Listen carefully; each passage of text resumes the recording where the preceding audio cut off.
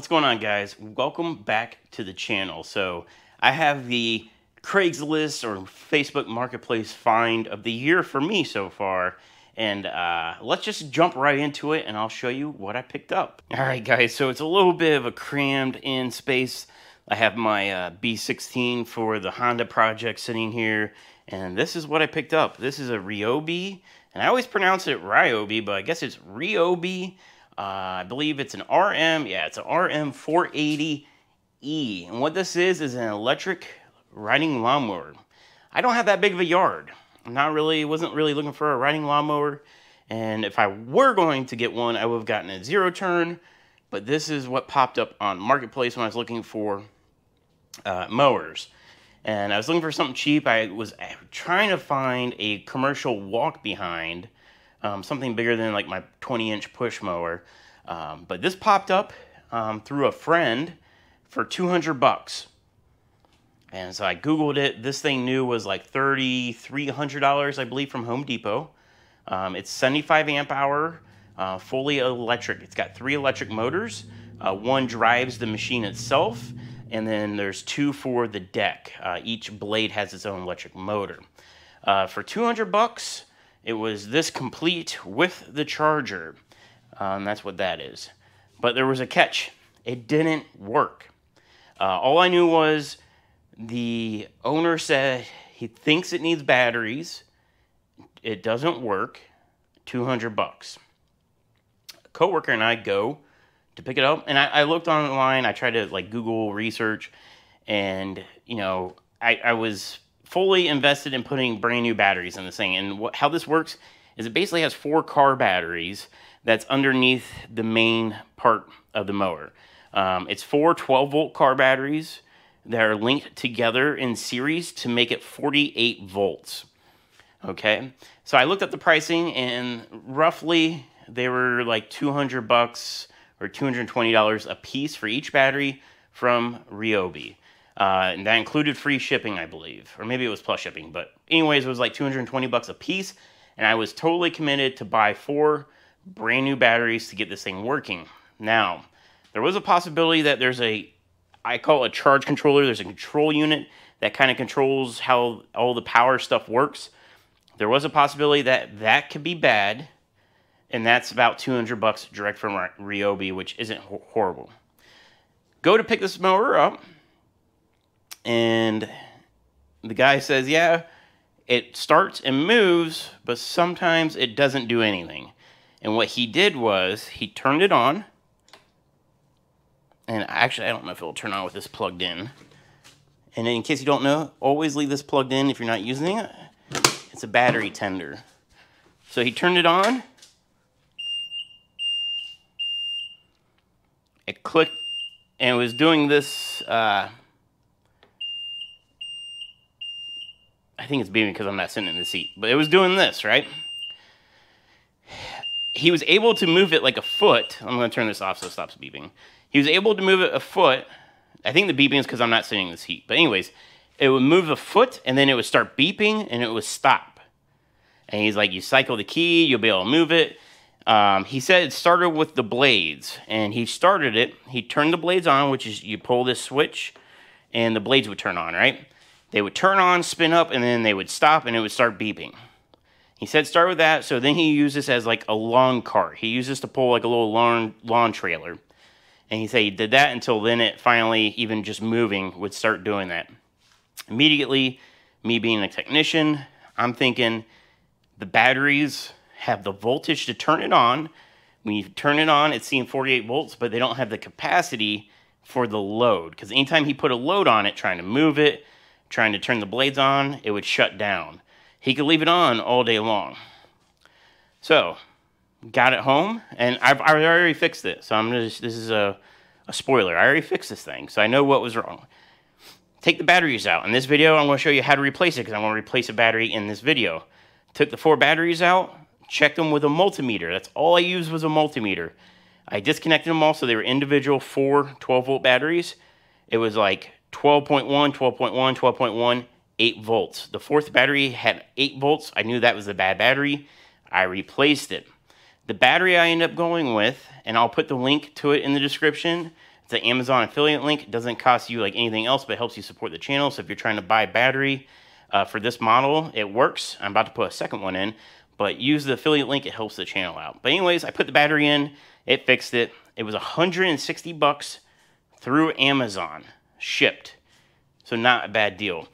But anyways, it works. I end up putting new blades on it. There's a video on how to replace the blades.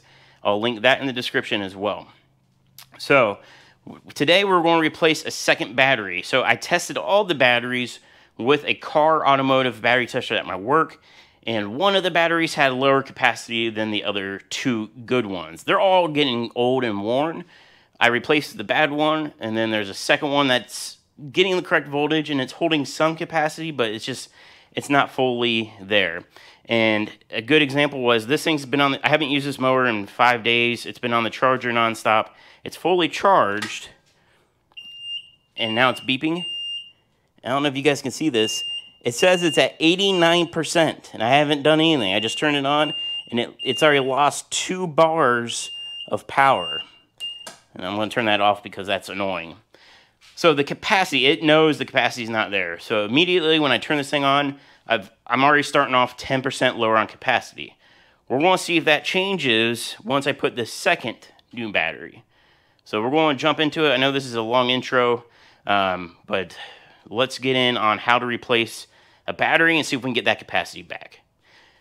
Unlike my other videos, here's the tools you're going to need to replace a battery in this Ryobi 48 volt riding lawnmower. And I'll put them right here.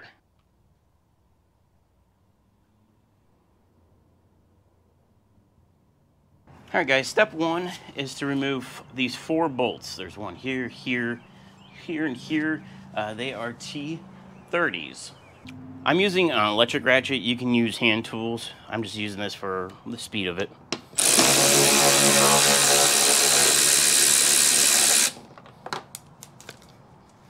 And then I just put these in the cup holder.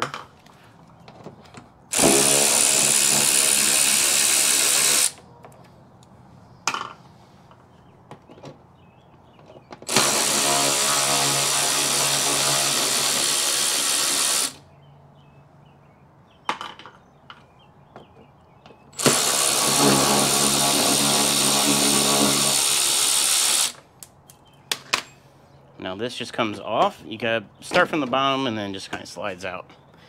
All right, the factory battery is this color, at least on this unit, it was this grayish color. This black one's actually the new battery I put in, that I already put in to fix it. Um, so this is a 75 amp hour model. Uh, you're gonna have this bracket. It's basically a tray that slides out. You will need a car jack. Uh, in the manual, they tell you to use like a lifting platform. A car jack works fine. You just gotta be careful, but I'll show you how to use it. Now, if you have a 100 amp hour, you won't have this bracket. The batteries will come all the way to here. The difference between the 75 amp hour and the 100 amp hour Ryobi models is that the 100 amp hour is just bigger batteries. Um, they use the same tray, it's just the smaller batteries use a bracket like to take up the space. But the next step is we're to lift up the seat and disconnect what we need disconnect under there. So go ahead and tilt the seat forward. I go ahead and disconnect the seat switch, which is that white connector. And here's a tip, if this seat doesn't want to flip forward, it's probably because your handle's hitting it. So just release uh, your handle seat adjustment, move the seat backwards, and then it'll flip forward. But once you disconnect that, you'll be able to see, it's just this little push tab. You're gonna take this panel and these little release tabs, just push it and then just take this all the way off and set it to the side. So in here, what we have, this is your main battery power connection. Um, this is a very industry standard. It's used on like Zambonis and tow trucks. Like a lot of things use this connector. What we're going to do is, this is a Phillips screwdriver. We're going to unscrew this, set that screw aside, and like I said, I'm using the cup holder for all my screws and we're going to just disconnect. These just pull apart. There's no like locks or anything. This screw just holds this in place. It doesn't bounce around. But let's get a, a Phillips and remove this.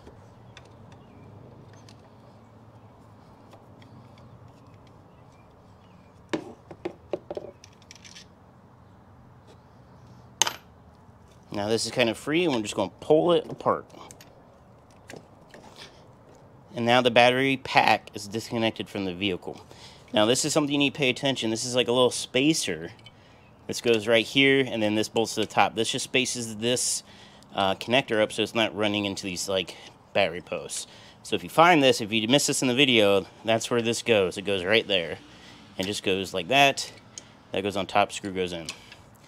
So now, the last thing we need to do under the seat is this is the bolt that basically um, kind of centers the cage or the tray where it needs to go. And also this is a battery hold down, so it's twofer. But this is a 13 millimeter and we need to take this bolt out and it's very long.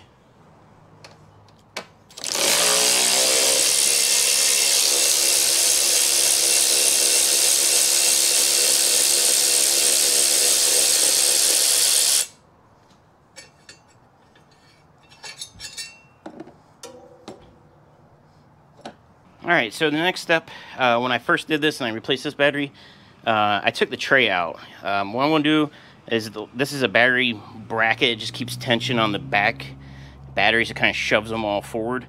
I'm gonna go ahead and release the tension on this, why I just have this sitting here versus having it out. These are 13 millimeter nuts. I believe everything's 13s on here uh, as far as this job, except for until we get to the batteries. Um, so there's a jam nut there's a jam nut right here and the nut right here. So what I'm going to do is take this nut off on both of these. Um, and then I'm going to screw this nut this way. And that will allow this bracket to come this way. Okay? So let's do that.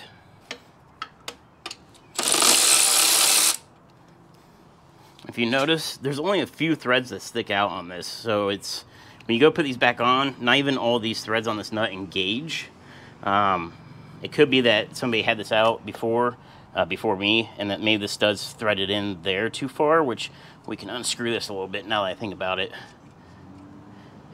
and give us more threads. But just be careful when you go put this nut back on. It just needs to be tight. Don't go crazy because you'll pull the threads.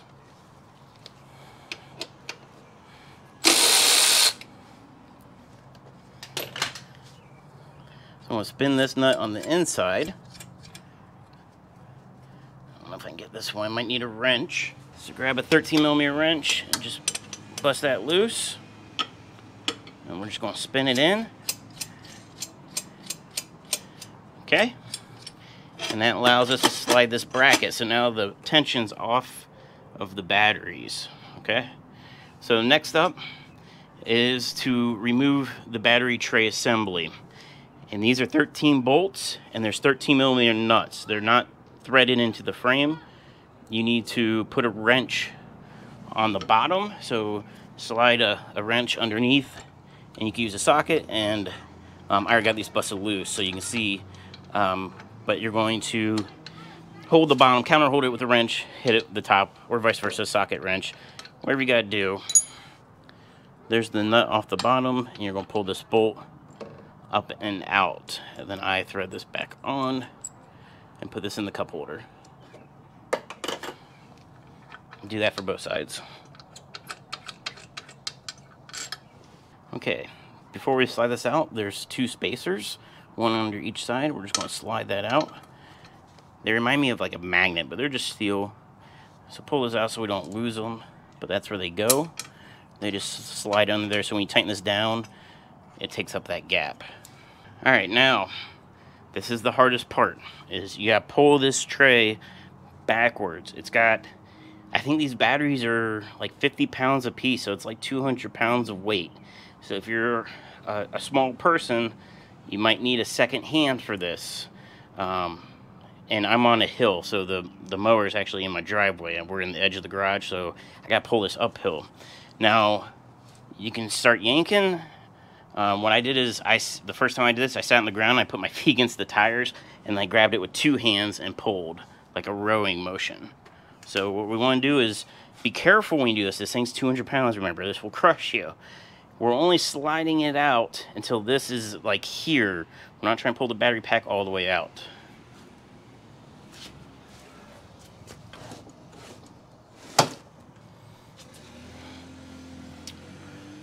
And then don't do what I just did. I forgot this needs unplugged. This is a little sensor. It's right here on top. It unplugged when I pulled this out, but um, it just goes It's right there. So luckily that didn't break. It just came undone, luckily. But don't forget to undo that first.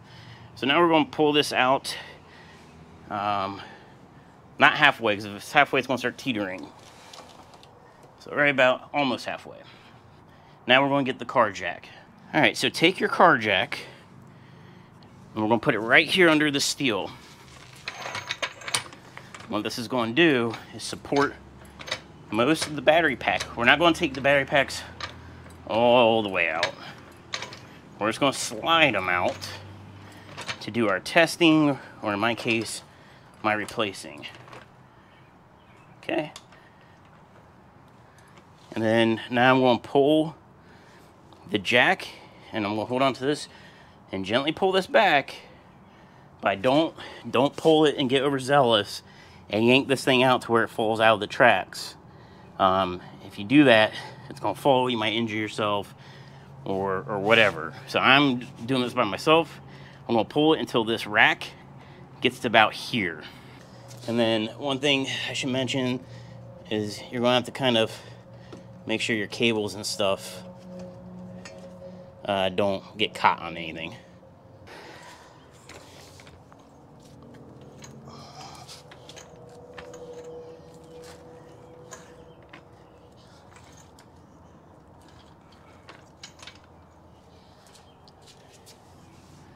All right, that's as far as I'm going to go. You guys can see that's the end of the rack. This is another spacer. The jack's underneath. And the battery pack's basically out. Remember, it's not held on by anything but its own weight right now, so be careful. All right, so loosening this plate, normally this would be shoved up against here. That allows us to pull these two batteries back. And like always, guys, I can't stress this enough. Be careful pulling on stuff since we're on a jack. Now allows this plate to be able to come up and out. Before we pull this plate up and out, we got to disconnect these batteries because the cables go through the inside. This is currently 48 volts. Every time we unplug a battery, it's going to drop it down 12 volts. Now you will have you will have these plastic covers on here, and they were a pain in the ass when I first took this apart. They basically go like this, like that, like that, and it just keeps stuff off of the terminals. You're supposed to, as part of the maintenance, you're supposed to clean this out anyways. So like every, let's say 50 hours, I would slide the battery pack out like this, clean all the grass and stuff out, and then slide it back in, check your terminals for corrosion. So you're to have to do these next steps with those black plastic covers on. Uh, I wish I would have recorded or remembered how they came off, but the cables kind of go through uh, through here, so it's kind of a pain in the butt. I'm sure you'll figure it out but you gotta get these cables, how these are linked, and it's, it's red to red, black to black, pretty self-explanatory, and they just connect to each other. And if you see these numbers, I have these labeled two, that one's three, this one's one. This was battery four, that was the one that tested bad. Today I'm replacing battery three, that was the other one. And I'll actually show you guys my test results here. Actually, I'm glad I decided to show you. It's battery one that's actually bad, which I don't know if that's what I just said or not. Um, so battery one back here I have to replace. So here's like the automotive tester we have at work. It, the voltage, this is when I first got it. This was before I replaced anything. Um, battery one was 12.1 volts, 166 amps. Battery two, 12.1 volts, 197 amps. Battery 3, 12.1, 198. So we like those three batteries are all 12.1. And this was the fourth battery. 8.4 volts, no amps, nothing. Okay, so that's how I knew the, this battery was bad. Battery 1, how the remaining three had lower amps. They all had good voltage, but this one just had lower amps. And when you run things in series, when it's a battery to a battery to a battery to a battery, they all should be equalized. They all should be the same. So if I retest them now, um, especially now that I've been using the motor for a couple weeks and it's been fully charged, I'd be interested to see what this battery's at now because it should have balanced out, but it's not. That's why it shows 90% charge when uh, I turn it on. So these aftermarket batteries come with new bolts because they're bigger. They are 13 millimeters. The factory Ryobis are 10 millimeters. And all you're going to do is pull these caps back to get access to the bolts. Now refer to this video when you go back together because there's a couple cables that are different. This cable has a sensor. It goes on the back batteries, the closest to the grab handle. The two in the center are just link cables. They don't do anything but link the two batteries. And you go color, color. So if it's a black cable, it goes to a black mark. The front is the battery pack to the chassis connection. And it's pretty self-explanatory. Red goes to red, black goes to black. Red is on what would be the passenger side or the right-hand side if it was like a car. Okay? So now we're going to do is unplug uh, these middle links so that way I can get this bar out of our way. And I got 113 and the rest are to be 10s because this is the aftermarket battery. Now when you're working with batteries, you want to make sure that you don't ground your tool if you're working on positive to any kind of chassis ground. Uh, right now, the chassis is not grounded because we have it disconnected, so we're fairly safe. Just be careful, guys. Use common sense. You want to keep metal stuff away from grounding out. But I'm to go ahead and just disconnect both these 13s while I'm here. And there's to be washers on all these, the aftermarket and the factory. And this guy, here's that uh, extra piece. So it's going to be a connector, and they kind of are curved in the center to fit, and this one's straight. You'll see they, they hold their shape pretty well.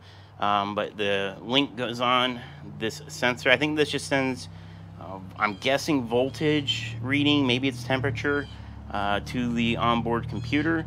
Um, but here's the setup. It's a washer, lock washer, bolt. In case you need help putting this back together, that's how it goes.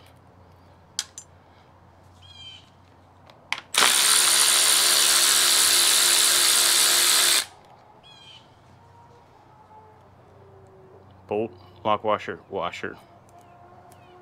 And I'm just putting them down here in this tray. Now I'm going to switch to the 10 millimeter.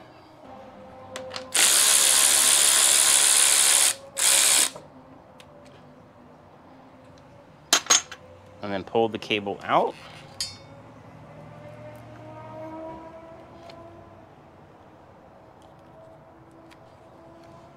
And then move on and we're going to do it to all of them.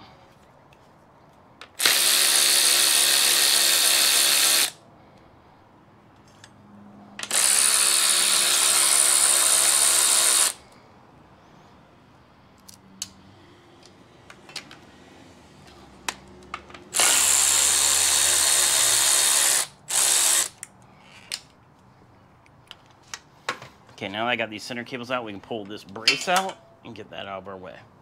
All right, so now this is where you'd want to be careful not to hit metal. Okay, so I'm gonna go ahead and hit this ground. Um, you could use a wrench or use a socket. I'm actually, I might not even be able to get my socket in here. Let me see if I can hit it with an extension.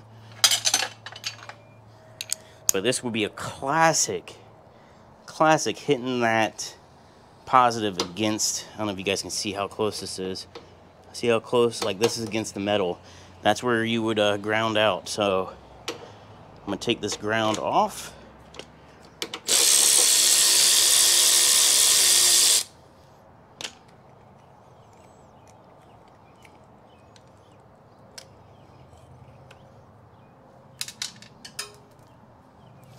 And then now there's no way I can ground this out. I couldn't ground it out before because there was no chassis ground, but just be careful.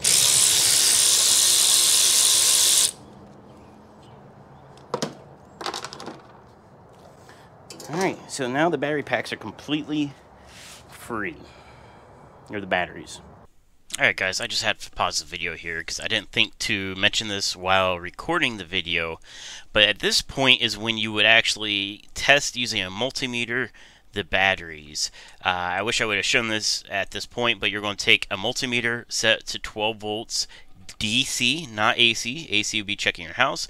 DC voltage and negative to negative, positive positive, positive to and do each battery individually. It's just like testing a car battery. So you're going to test the, each battery. And what I would do is take a piece of tape or a Sharpie and write numbers 1, 2, 3, 4, just like I did with that paint marker uh, on each battery and then you can even write down what the voltage is. Uh, it helps if you fully charge your pack, or at least what you think is fully charged before doing this. Um, each battery should be exactly the same. So if it's 12.1 volts or 12.5 volts, or if it's 11 volts, all four batteries should be exactly the same when they're running series. Uh, if you're testing them individually and one is different, how I had three batteries that were 12.1 volts and then that one was 8 that's the dead ringer. That 8 volt battery is the bad battery. So you can test it like that. If you have a multimeter just go to harbor freight buy like the $10 multimeter. That's all you need. I'll put a link to in the description to a cheap one on amazon. Uh, the other thing you can do is if you don't want to do that is you can lug all four of these batteries to an auto parts store and have them test them and you'll get like the little printout like I had from my work. Um, then you can really test to see what kind of amperage they are. Uh, they're going to ask you what the cranking amps are of these. Uh, they on my batteries they weren't listed, um, so I would just say that they're 500 cold cranking amps. I don't know if that's how much they actually are, um, but that's a baseline. Mine tested at like 200 amps. So that's where you need to go, and I wish I would have shown you, but let's continue the video of replacing these batteries. Now these batteries have go handles right here, and then you can lift these out. This is my new one, these are the old ones. Battery number one, so it's one, two, three. Battery one's the one I'm replacing, which is this guy. So I'm gonna go ahead and lift this guy out, and then get the new one in. New one's still brand new in the box. I'll go grab it. You don't need to see that. All right, this is different. So I just got the battery out. Ordered it through the same Amazon listing. You know, I just hit buy again. It's a little bit different. Here's the first one I bought. It's got the handles just like the factory one, right? This battery has a fabric handle. So it doesn't have the plastic these guys. Does that matter? Absolutely not. So if you guys get, so, I mean, this was the same listing. I just bought these weeks apart. The terminals, and these aren't, what I noticed is that these are flip-flop from an automotive battery. You might be able to get these at AutoZone, Advanced Auto Parts, O'Reilly's, places like that. Um, but they're probably going to be a couple hundred bucks. But um, car batteries I had laying around, this side was negative, that side was positive. So I don't know if this is like a lawn mower application that they're like this or what, but um, I found these on Amazon. Anyway, so this isn't going to matter. It's just something different. Um, if you're running those um, black covers, I'm not going to put those back on personally because it's to pull this out. If you're doing maintenance, you don't need to pull the bracket off. You can just slide the pack out, clean the grass and stuff off, and then slide it back. You can, once you do it once, you can have this pack out, clean all the grass off, and back in in like 15 minutes. It's super easy. It's not hard at all. So, and you don't, like I say, you don't take that back off. Anyways, squirrel, getting off topic. Now, it's basically reverse order. Slide that battery forward. We're going to put the bracket back on.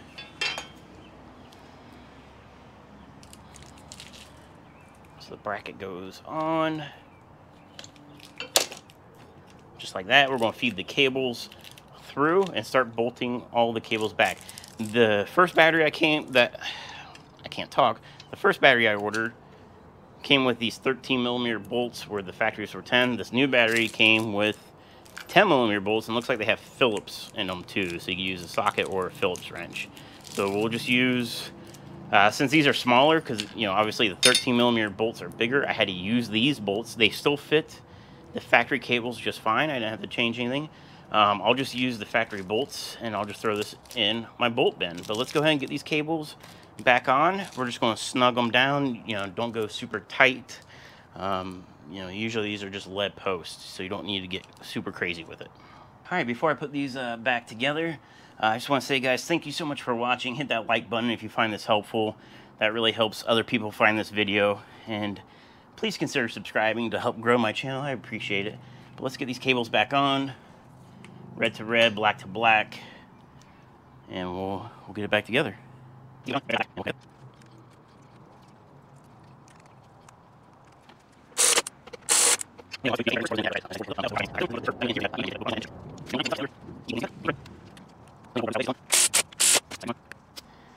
Now here's the end, or the last cable we're to hook up. Okay. Don't forget, we got to put this guy, I left the bolt in it so I won't forget. I actually forgot the first time to put this on. Um, but don't forget to put this little sensor on. It goes on the positive side. I don't know if that matters if it's on positive negative, but that's where it was factory. Batteries are all hooked back up. Next we're going to do is, remember this is that big bolt in the center. So that doesn't go in until we slide this pack back in. You would have to put these back on the same order you took them out as, because if I remember right, this bracket sits on top of this. It just was a pain in the butt. I left these out. But like I said, put these back in. You should put these back in, but me, I uh, left them out. Do what you want with that information.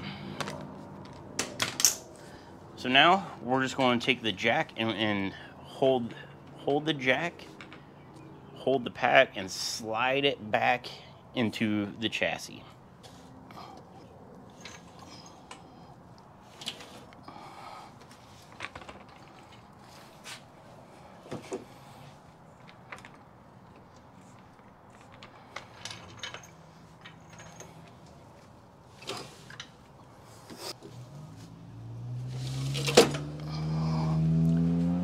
Right, you're going to shove it forward until basically it stops. I'm to go ahead and plug in this little guy so I don't forget. And then don't forget your two little spacers. We're going to put those bolts in, tighten them up. Bolt, spacer, bolt.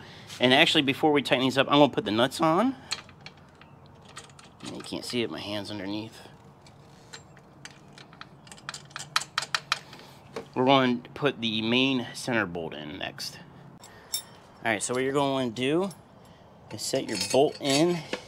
It's going to be hard for me to show on this GoPro, but you can look down between these two batteries and you can actually see the hole where it needs to go. My bracket is too far this way, I need to shove it that way. And then the hole's right there ish. And then you're going to tighten this down. Alright, so this bolt does two things. It holds the batteries in place, but also locks the tray to the frame. So it's dual purpose. However, here we're going to go ahead and put our spacer. Oh, guys, I messed up. I put this bracket on backwards. That screw hole is supposed to be over there. Ugh, alright. so, I'm not perfect, so I gotta unscrew this and slide that bracket back out. Guys, I just realized I screwed up. This bracket only goes in one way, and I wasn't paying attention. The screw hole has to be on this side. So in order for me, I gotta take this out, and I can't get this bracket out and flip it because these cables go through it, so I gotta redo. I gotta take these two cables off to take this bracket off and flip it so that screw is on that side. So don't make that mistake make sure this hole is on this side. So now I got to take this battery pack back out. So I won't show all that. We'll just continue once this is flipped. All right, take two. I took the battery pack back out, flip that around, so it's back to being correct. We're to take our little plate, set it there. We're to go ahead and plug our pack back in. I'm just to set that there until I get this plugged in.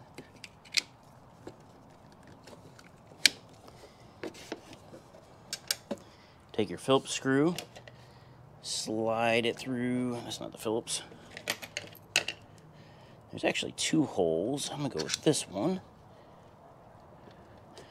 And then screw that down. Don't go super crazy. This is just plastic. Alright, so the last thing to do is take your seat switch and you feed the wire through your panel and put your panel back on. If I put this on the right way.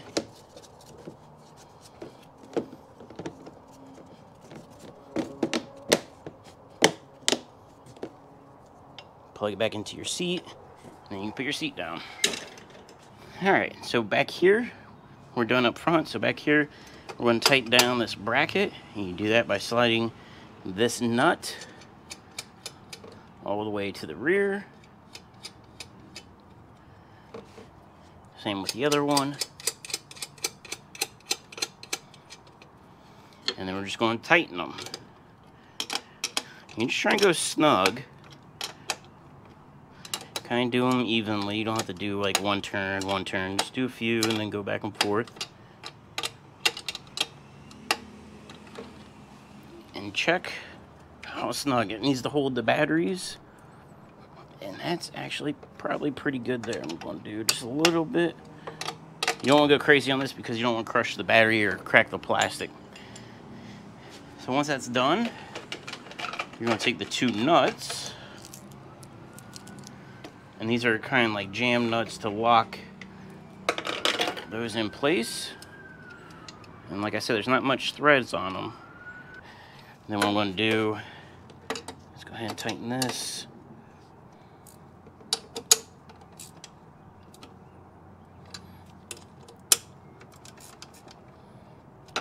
Tighten the back side.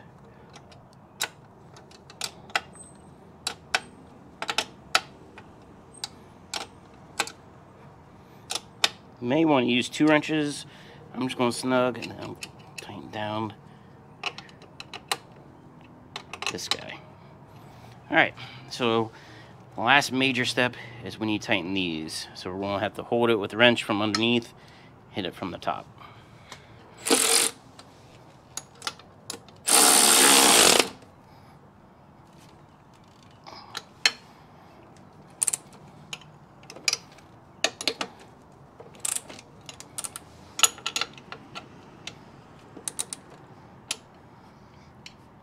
All right, so final step, let's put the plastic cover back on. All right, so the top of this has these semi hooks and they're gonna go into these spots right here. So you'll see it.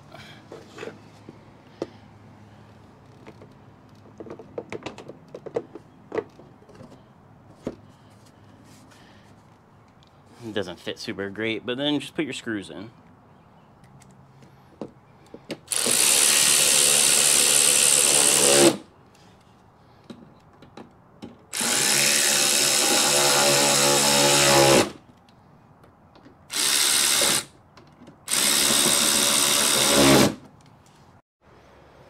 Alright guys, I went ahead and flipped it around because I was going to plug it in and charge it and we'll see what the capacity is at. But just turning it around, and I haven't charged it since we did this. Literally just, all I did was do a UE. Turn it on. 100% capacity.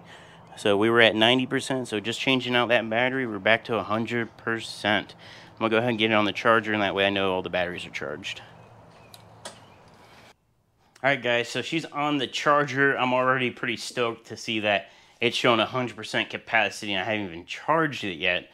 Um, batteries right off the shelf usually probably don't have 100% charge. Who knows how long they were sitting at the manufacturer and then at Amazon. But she's going to run great. She already does run great. Replacing one battery got this girl back in the yard mowing, and now we're just extending the runtime from cutting uh, maybe half an acre, and it's starting to poop out to who knows, maybe I'd cut an acre, acre and a half now. I believe this mower is supposed to be like a two acre mower. Um, so if I had two acres, then I maybe I'd want to replace all four batteries. But for right now, uh, I'm 160 bucks times two, so 320 bucks invested plus 25 or 30 bucks for the blades. Uh, I'm really excited that you know 400 bucks. I'm in this mower. It runs great. It turns way better than I thought it would. It turns you know, obviously not like a zero turn where it could do a 360, but it has a really sharp steering angle and it does really good up against the house. Um, so I was originally going to flip this mower since I didn't think it'd be a good for my smaller yard, but it just turns so well. It fires right up because it's electric, no putting gas in it, especially with gas prices, but it works great. Anyways, guys, uh, that's it for this video. That's how you replace a battery or two or three or four. You just repeat the process. There's no learning or programming. You put the battery in, charge it, you're good to go. If you thought this video was useful, helpful, insightful, or stupid, drop a thumbs up. Please hit the subscribe button. Consider subscribing to the channel. It doesn't cost you anything and it helps out my channel grow.